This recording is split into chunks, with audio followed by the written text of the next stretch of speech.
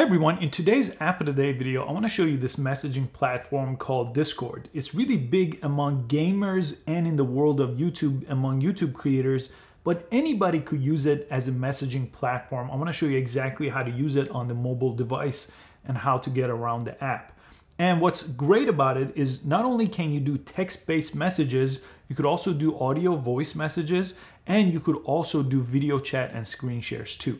And it's very popular on the desktop and on the browser at discord.com. And I have a separate video dedicated to show you exactly how to use it there.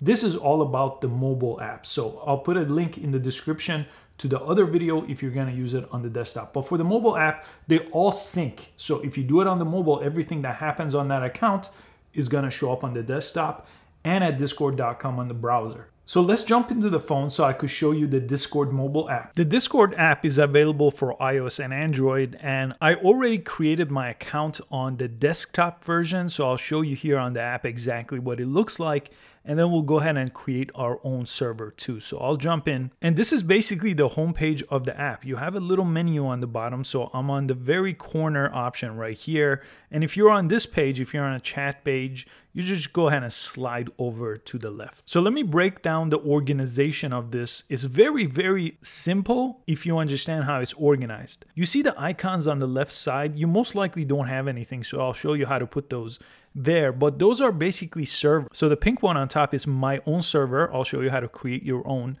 And then there's the Minecraft and Fortnite servers that are public that I'm following. Now servers, they could be an entire game, for example, or really anybody's digital world, a company's or a person.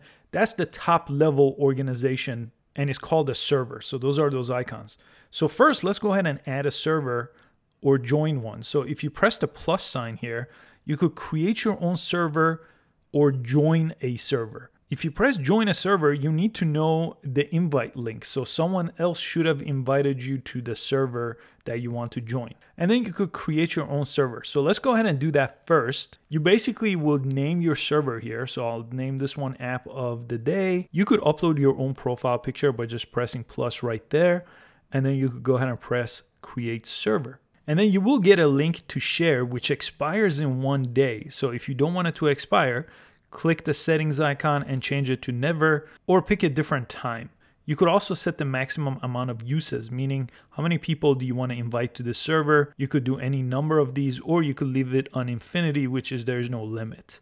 And I'm to go ahead and close and I'll click away here. Now let me slide back again to the left side here. So that's basically just the two main pages that we're to worry about here. The home page again here. Now you could see the app of the day has that little icon on the top. I didn't put a profile picture, so it just created that for me. And then the Howfinity one is the one I created on the desktop. That's another server. So you got multiple servers this way, and that little white icon shows you which one you're on. Now on the desktop on discord.com, if you use the browser or the PC or Mac version, there's also a search icon here that you could look up public servers here and follow them that way. And that's how I have those two little ones appearing here. I did it on the desktop, or you could press plus and type in join a server and you could go ahead and type in the server code if you already know that link, which again, you could find on discord.com if you log in that way. Now let's look inside of a server. Inside of each server, you could organize things by channels. So the thing with the hashtag and the little microphone and the little speaker icon, those are channels. So I have two different general channels. There are the two type of channels you could create. The text one, the one with the hashtag in front of it, and the speaker one is the voice one. So if I click that, it's gonna say voice channels are where people could talk together. So I'll say join voice, give it access to my microphone. I'll go ahead and invite my other person here. And if you click that person, again, you could mute someone, you could disconnect. You have all these options inside of each person under the voice chat. But let's go ahead and create one. We'll create a text channel. I'll press the plus sign here. Again, you could pick the channel type. In this case, I want a text channel. I'll press create. And as you can see, there's a second channel now called text channel. If I click it, it takes me there. To come back, I just have to slide back again to the left. Same thing for creating voice. You could just press the voice icon and this time choose voice and create a channel that way. And you could always hold on any one channel and you could go ahead and edit the channel here or clone the channel. The invite option is right on top. Let's do that next. If you want to now invite people to a specific channel, you just hold on that channel and then you could go ahead and press invite and you get this invite link again which expires in a day and you could go ahead and share it or change the setting of this link to invite people to the server and all your server options right with the name of the server there's those three dots if you press those you could basically do all these things here, including inviting people, creating channels here, creating categories, and so on. So, creating categories basically creates a folder for you to organize your thoughts. So, if this was the rules category, I could create that. And you could see made another folder here under the voice channels, and I could press the plus sign to create a channel within that folder. So that's basically the overall organization. You have server on the far left, which is your top level the folders or categories, which are these inside of there. And then inside of those folders, you could put channels here. And inside of those channels are where people are to have the conversation. Now let's slide over to the how-to channel that I created. And here is where the messaging could take place. So I could just type in the message welcome, press the send icon, and now it's over here and there's the welcome message. So anybody that I invite here could jump in and have a conversation with me. You could also upload images here with the left icon. You have emojis, and you could also use the at sign here to basically have a communication with someone else. So if you want it to be for everybody, or if you wanted to just talk to a specific person, you could just put the at sign and then type your message and then it would basically tag them that you're trying to communicate with them specifically. But it is channel wide so people could see it there. And then you also have one more slide. If you slide one more time, you basically get to this members area where you could see everybody that's online and their role right on top of their name. You could also mute them here and you have all the options inside of individual members in this channel. So it's really three main pages here. This was the home page. This was the messaging page inside of each channel. And then this is where all the members are inside of that channel. Let me jump into one of these public ones here. I'll jump into the World of Warcraft one.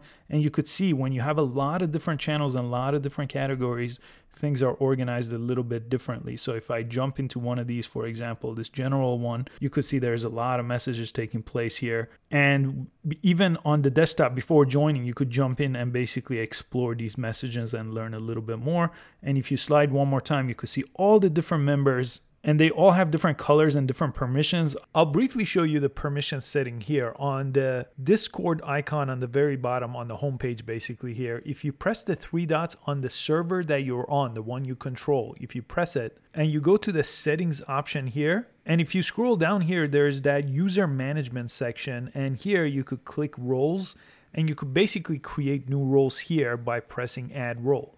When you add a role, let's say you wanted to make someone an admin of this server, you could just type in the role's name. You could click color and choose a color so they show up differently on the list of people on that server. And then if you want to display the members role separately from online members to kind of break up the section here, you could go ahead and check this on. And then if you want to edit the general permissions they have, you could go to this general permissions tab and go through it. Again, a lot to explore here and a little more advanced than a beginner's guide, but you could definitely explore this page for an admin.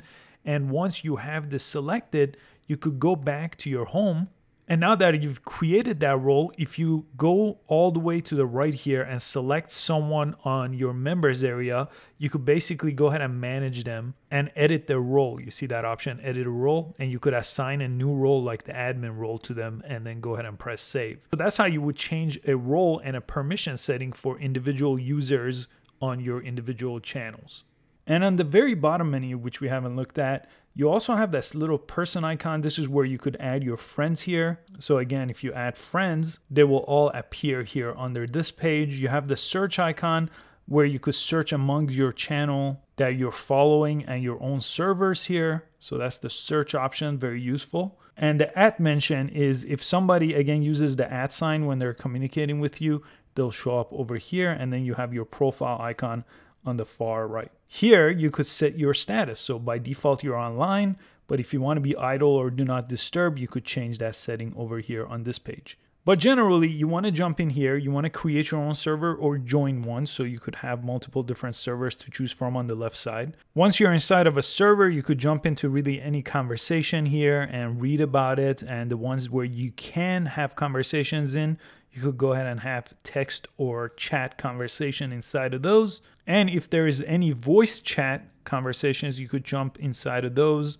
and have a voice conversation this way as well. And as far as I could tell, the video sharing option is only available on the desktop. So when you jump into a voice channel, typically you could mute on the very bottom. There's the mute option. There's a deafen option. That means you won't hear anything. And there's a speaker option where you could turn on and off to make sure you hear something and you could go ahead and disconnect. But there's no video option at the time I'm recording this inside of the mobile version. But it is available on discord.com and on the PC and Mac app. I'm going to give this app a solid 5 out of 5. It was so easy to use. It was so easy to get around.